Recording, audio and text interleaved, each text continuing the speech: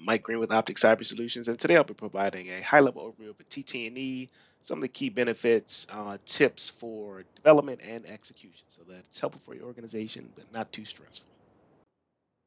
So, test training exercise, sometimes referred to as TT&E or TTE, uh, essentially um, comprehensively is structured activities performed by an organization to uh, test any type of emergency plan. So those would be business continuity plans, incident response plans, um, any other type of um, emergency plans that a business would have. Um, the way they, they want to test for efficiency and completeness. Um, there are three specific components that comprise test training exercise, uh, namely the test, which is the actual uh, walkthrough to evaluate performance of a specific component or system. Training, which focuses more on the um, human resources part of it, so training of the individuals and improve skills and knowledge and then ultimately the exercise, which is a simulation um, based on a scenario where you kind of want to walk through your plans, your processes, um, and sometimes even exercise uh, physical or um, technical capabilities to ensure that um, you know you can actually uh, respond in an emergency. Um, TT&E is defined and described in uh, NIST 884.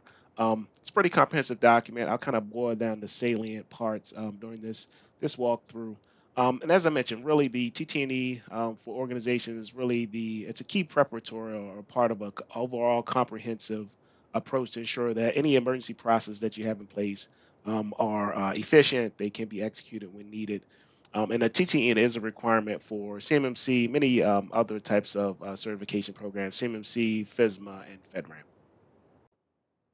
Some of the key benefits of a TT&E include identifying gaps in emergency plans and really, the goal here is to uh, ensure that you have sufficient scenarios, um, essentially real world or um, simulated exercises, where participants can walk through and actually test the different response strategies that are defined in the relevant emergency plan. So, incident response, as an example, if you have a specific scenario that's that's defined there, um, this will help to identify any gaps if you have a scenario based on that specific uh, type of incident.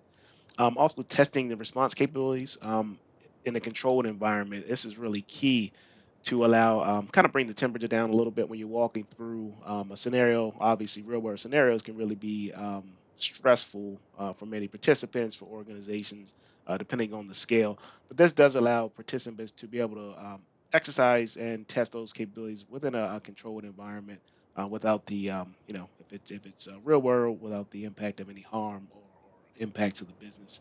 Also, enhancing collaboration. This is really a key point for um, anyone involved in a response activity ensure there's um, efficient communications among the team members.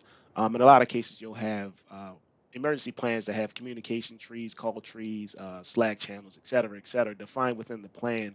And as part of the exercise, want to make sure that what is defined is actually what's implemented in uh, real world situations there are any deltas identified, obviously you want to make sure those are documented and updated as you walk through the exercise to ensure that the, um, the documented processes for communication are reflective in the relevant plans. Also, uh, encouraging critical thinking, problem solving skills. Um, depending on the, the uh, sophistication of the scenario, um, there may not be a defined uh, path within the, the plan itself. It may the plans may provide more general guidance for how the uh, participants will respond in an emergency.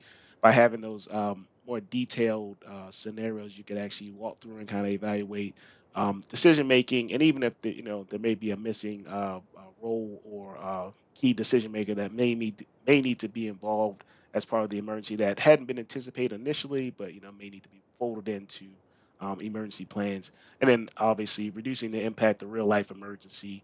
Um, as I said, you know, in a lot of cases these tabletops or um, real world eh, um, uh, emergencies can be stressful. Having it in a simulated environment, you kind of bring down, as I said, bring down the temperature, but it does allow the organization to exercise these emergency plans to ensure they are ready um, to respond for any any type of emergency that the um, organization is is currently testing for develop a TT&E, you want to start by first setting goals and objectives for the specific TT&E.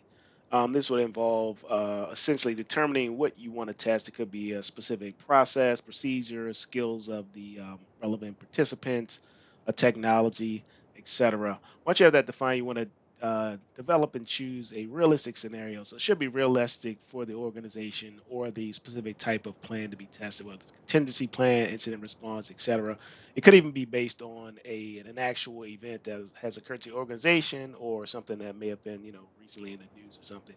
the, uh, the overall goal is to make sure that the scenario is a challenging scenario that will actually test the participants and the relevant plans. Um, next will be selecting those participants or key stakeholders. Want to ensure that um, all stakeholders defined in the relevant plans are actually included on the exercises to ensure um, a more real world scenario. So if you have any uh, participants from differing departments or differing uh, organization, uh, differing teams, or even sometimes third parties that may be part of an emergency response, those should be included as well. And then finally, preparing the uh, materials. So for uh, relevant TT&Es, you may have documentation materials like participant guides, exercise guides, things like that. And then also, depending on the type of exercise, you may have te- specific technologies for functional exercises, as an example, if you want to uh, test the recovery of a system and things like that. So you want to ensure that all that is ready to go um, as part of the development or planning for the and developing of a TT&E few tips for ensuring a successful TT&E. Uh, first, assigning of roles and responsibilities uh, for participation during the exercise. So these roles should be assigned to the participant's real world uh, role. So you have someone that operates as a you know, IT administrator or incident responder or key decision maker. Um, the participant should be asked to um, participate in the exercise in that role. uh, establishing clear expectation and guidelines. So the facilitator of the TT&E should ensure that uh, the stated goals and objectives are clear to the resp- uh, to the participants. Um, an overview of the scenario um, and then the expected outcomes as well. Um, another key item of uh, for key for a successful TT&E are the uh, participation of and engagement of the participants. So facilitators should really um, encourage um, open and open discussion uh, by asking open-ended questions, uh, soliciting feedback. Uh, to really get the engagement among the various uh, team members during the the TT&E uh, documentation evaluation um, of the exercise. So obviously, since this is the whole purpose is to test the um, the processes, procedures, um, and even sometimes the uh, personnel involved in the um, the exercise, want to ensure that you're doing evaluation of the um, actual response efforts, depending on the, the, type of response it is. Want to ensure we document and note any challenges um, during the exercises to uh, really understand the overall effectiveness. Uh, positive aspects should also be um, explored as well um, to ensure that they're you're capturing the overall picture of the response. And then finally, incorporate any lessons learned. So any um, lessons learned as a result of the uh, response itself should be uh, incorporated into response strategies. So high-level strategies uh, may need to be updated, as well as tactics. If there are any um, tactical items that need to be um, instituted or revised, that should be captured as well for consideration.